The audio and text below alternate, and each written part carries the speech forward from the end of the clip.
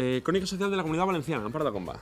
Pues sí, esta semana vamos a tener el gusto de felicitar a unos grandes amigos. Mira, aquí tenemos a Andrea Minutolo, Andrea un Minutolo. compañero nuestro, que ahora está en Italia. Efectivamente. Y mira, aquí también lo tenemos Felicidades, también, Andrea. haciendo con un poco de magia, ¿no? Exactamente. Reportero, modelo, eh, gran deportista además. También, ¿eh? también. Bueno, ahora tenemos a Ana Crespo, que fue Miss Valencia y segunda dama de honor de Miss España. Ex colaboradora de Revista Sociedad y recientemente portada de Interview.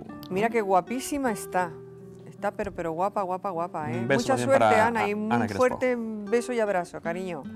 Bueno, y aquí tenemos a mi gran amiga Cristina Rosario con su perrita. Cristina, felicidades. Qué guapa- qué Muchísimas guapas las dos, ¿eh, felicidades.